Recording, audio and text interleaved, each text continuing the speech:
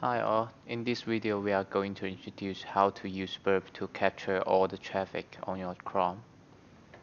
So at first we need to install the Chrome app and uh, okay, install the Burp. I have already installed the Burp. So now I open the Burp now. Next start. And secondly, we need to install the uh, Chrome plugin Switch Omega. What you need to do is just search the Switch Omega and the first link and install it. I have already installed it. Uh, after install the thing, you it will be like this. You can press the button here and options. We will enter the configuration of the Switch Omega, which is the third step the switch omega allows us to control the proxy of the system in Chrome, which allows us to switch a different proxy to uh, of the of the browser. So now we uh, going to set up the switch omega here. Just press the button new profile and create a new profile named burp so we uh, press HTTP protocol here and we input the server and port number. The server and import number will be shown like in the burp here. It's 127.0.0.1 and the port number is 8080 just put it here. And we click the apply changes here and all the configuration is done. So we can click the button here switch omega here and we can see we have already created a burp configuration which allows to us to uh, change our system proxy to to this address. So the request will send to this proxy address at first and the proxy address the proxy server will send our request to the server. Okay, so after this step we need to install the CA. Why we need to install the CA? Because if we switch to the burp and try to uh,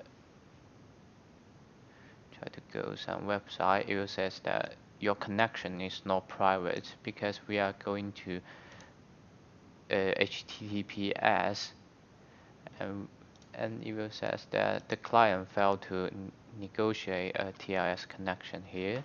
So that's why we need to install a CA to in order to install the CA we need to uh, go to this website. It's just exactly the same of the proxy server. So we click the button here CA certificate and it will download a file. We just left clicking and open it. Install the certificate certificate for current user.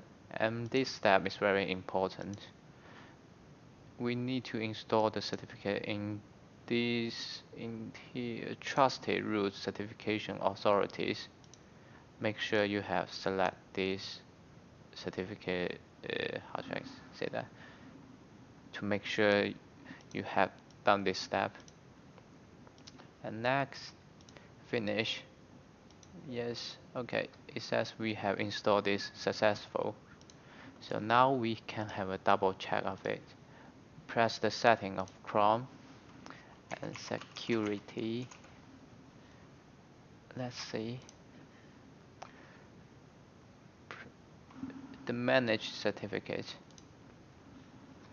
Let's see if we have successfully installed the certificate of pause weaker PortSwigger is here. Okay we have already installed the CA and now we all we need to do is to restart the Chrome and make sure your proxy is turned on here. And we just browse and random web page. Can see the error me message is gone. But we start at waiting for google.com this is because we have opened the intercept. When the intercept is on the request will start in the burp when uh, it will forward to the server when you're allowed to do so. So what I need to do is to turn off the intercept and you can see the web page was loaded. And all the traffic is will show in the HTTP history. And now we can just have a easy check to browse a random web page. Let's see. Okay let's see YouTube. We can see okay. So that's the request we have sent to the YouTube and the response here. So that's how we use the burp to capture all the traffic on our Chrome. And when we don't need to the burp anymore we just easily close it.